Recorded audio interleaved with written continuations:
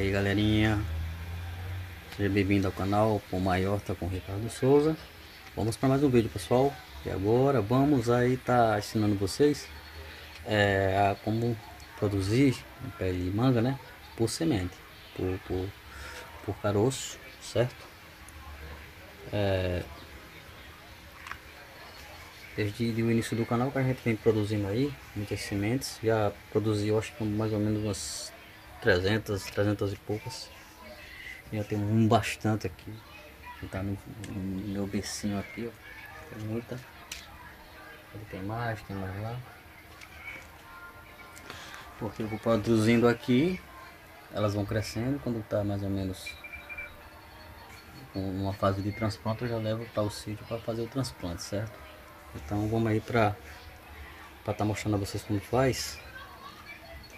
E esse aqui vai ser interessante, porque esse aqui, vai ser esse caroço aqui, é, eu vou fotografar ele, ele vai crescendo e eu vou fotografando até ele chegar mais ou menos nesse, nesse estágio aqui. E vou fazer um vídeo com, com isso, tá? Eu, a princípio eu fiz com esse aqui, mas o que acontece? Eu tive um problema no celular e excluí sem querer eu ia fazer o vídeo, mas como eu vou contar mais, aí, bom pessoal, para não o vídeo não ficar muito longo, certo?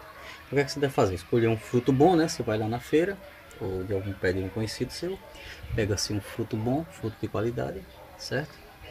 É, você limpa ele todinho, tira, retira toda a polpa, tá?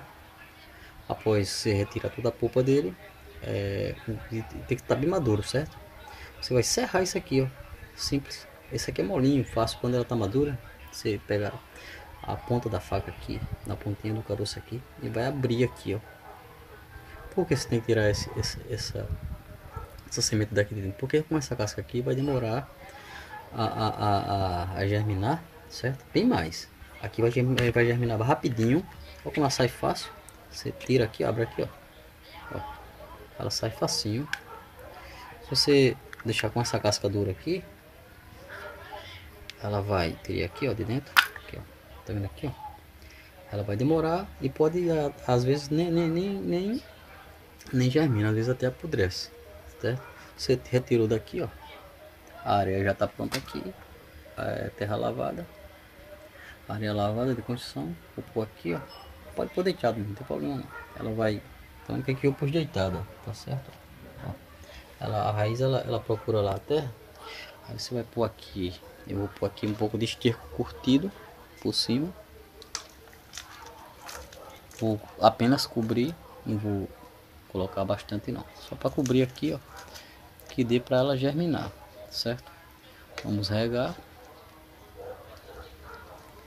E deixar a terra bem regada. Ela, a areia tá bem drenada, tá vendo que ela vai logo descer, certo? Tá aqui, mais ou menos aí, deixa eu ver, é, 30 dias 25, 30 dias, ela já vai estar tá toda germinada já. Um mês e 15 dias, um mês e 20 dias, ela vai estar tá desse tamanho aqui já. Um mês e 15 dias, aproximadamente dois meses, ela vai estar tá desse tamanho aqui.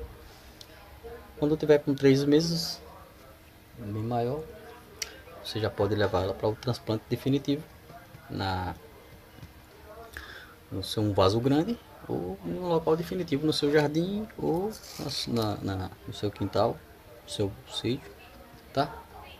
Bom pessoal, a dica é essa aí, é fácil, não tem bicho de sete cabeças. Acompanha aí que a gente vai fazer o passo a passo fotografado. Vou estar tá mostrando a vocês aí, certo? Essa aqui é uma manga, uma manga chamada manga rosa, tá?